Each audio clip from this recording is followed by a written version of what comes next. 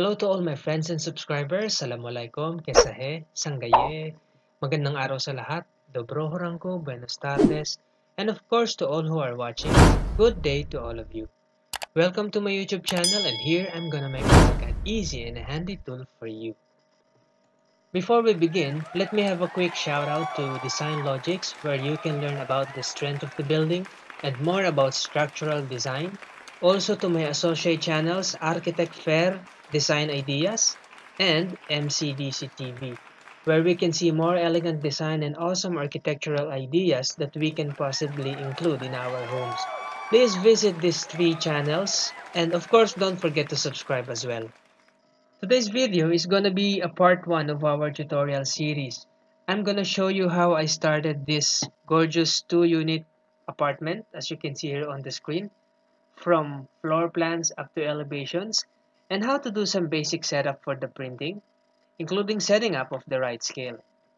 Throughout the series, I will try my best to make everything simple for all the beginners out there so that at the end of the series, I can guarantee that you're not to be a newbie anymore.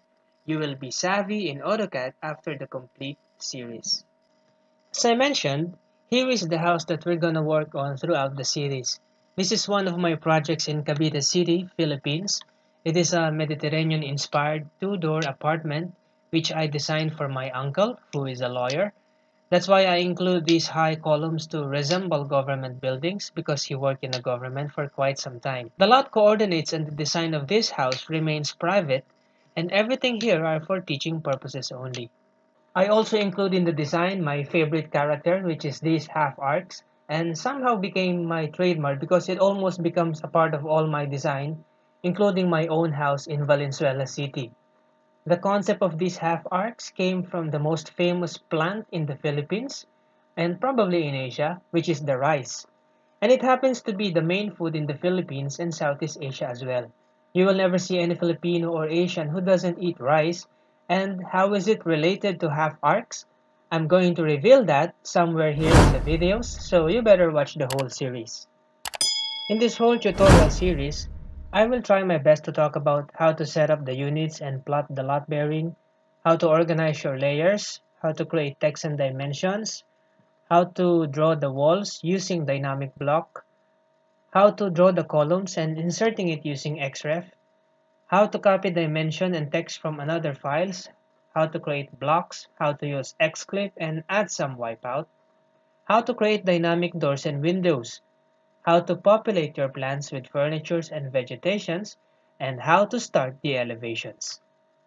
In this part, we're gonna do 5 basic steps to draw the lot. And by the way, we're gonna use millimeters the entire series, and if you wanna work on other units, it's fine. But I'll be discussing on millimeters the whole time, so I suggest you follow along.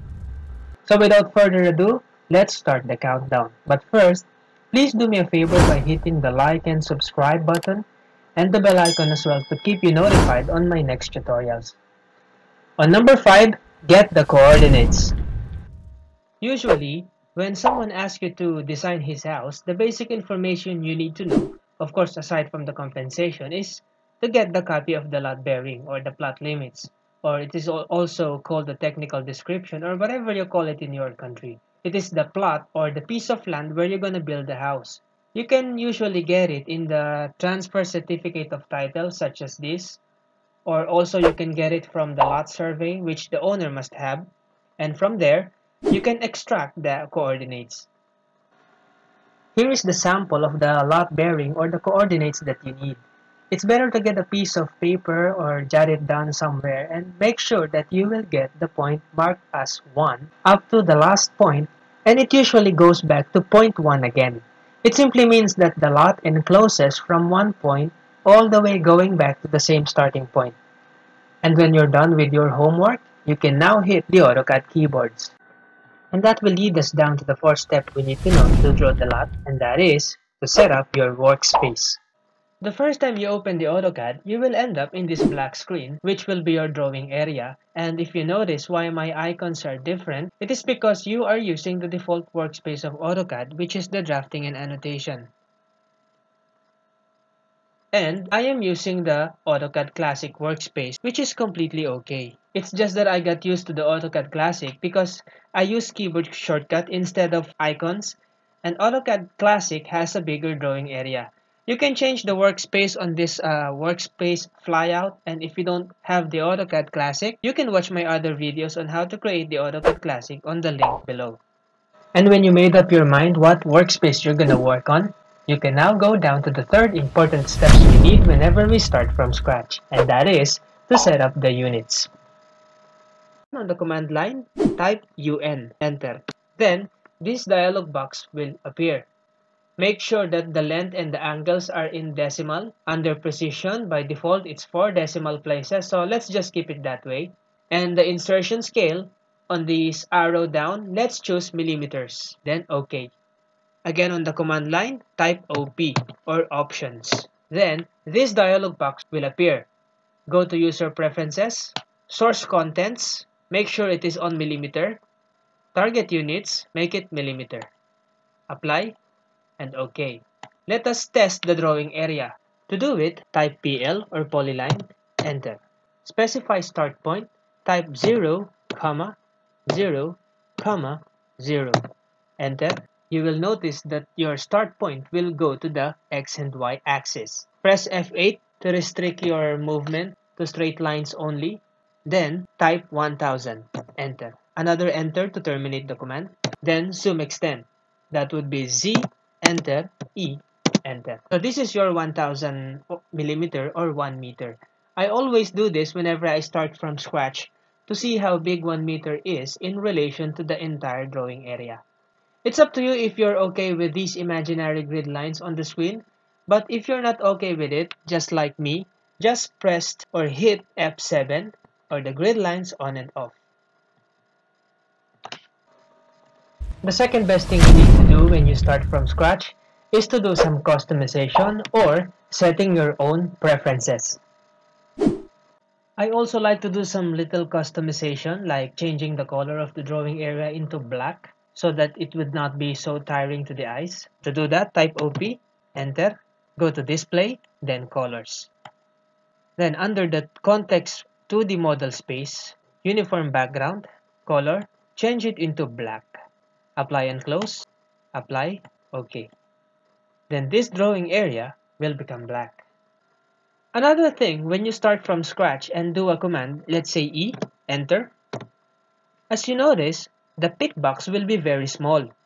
To make it bigger, go back to the same dialog box again. I'm going to escape. Type OP, enter. Go to selection. Then you can make the pick box bigger by controlling this slider. Apply. Okay. Type E for erase. Now the pick box is bigger. You can save your work. Go to your directory. You can name your file whatever you want. I'm gonna name mine plan-01, then save. Before we go on to the number 1, please do me a favor of hitting the like and subscribe button and the bell icon as well for the next tutorials. Now it's time for us to start drawing your lot. Here is the sample of the coordinates or the technical description that we're gonna use. From point 1 to 2, the direction would be south, 3 degrees, 54 minutes west, 11.77 meters. Meaning, from this point, which is 1, up to point 2, the distance is 11.77 meters. If you're going to draw your south line here, the inclination of this line would be 3 degrees 54 minutes going to the west. Same thing here from point 2 to point 3. The distance is 9.50 meters. The direction, north 86 degrees 5 minutes west meaning from this point 2 if you're gonna draw your north line here the inclination would be 86 degrees 5 minutes going to the west so same thing on the other coordinates and when you draw all these coordinates this is how it's gonna look like all of these coordinates is with respect or based on point 1 in the real world, there is an exact coordinates of this point number 1 in the planet Earth. If you have it, that's fine, you can reflect it in your drawing, but it will not be so relevant in the design, so let's just forget about it for now. And how did I end up with this gorgeous lot drawing? The command is PL or polyline. And to enter these coordinates, we use the pattern at or holding your shift key plus this key, distance which is in millimeters, then angle or holding your shift key plus this key, the direction,